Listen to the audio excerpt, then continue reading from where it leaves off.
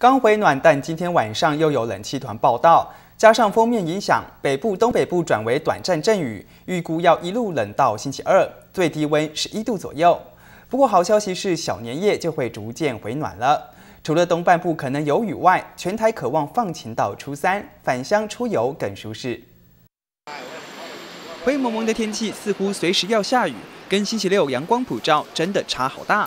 尽管周日白天温度没有太大变化，但到了晚间温度又要溜滑梯。中南部地区仍然是属于日夜温差大，呃，日夜温差可以达到十度以上哦。冷气团报道加上封面影响，北部、东半部都可能出现短暂雨。温度方面，北部低温十二度，中部因为辐射冷却效应，最冷下探十一度，南部与东部在十三度。估计冷天气要一直持续到星期三小年夜清晨，白天才会回暖。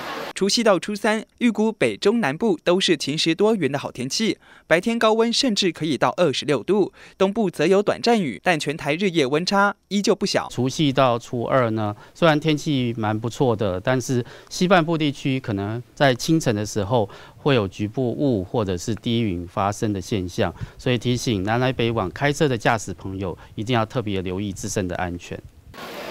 老天爷给大家过年礼物，到时候阳光公公露脸微笑，不管返乡出游，心情会更好。新唐人亚太电视综合报道。